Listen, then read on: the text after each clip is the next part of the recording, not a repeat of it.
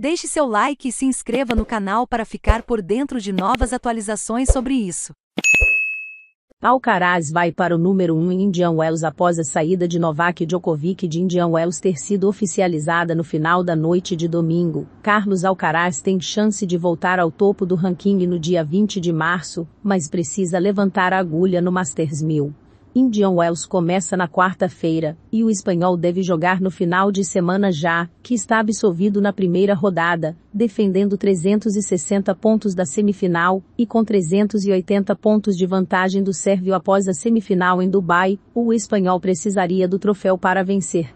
Noli Alcaraz perdeu Acapulco, no México, com problemas nas pernas, e teria jogado na Califórnia.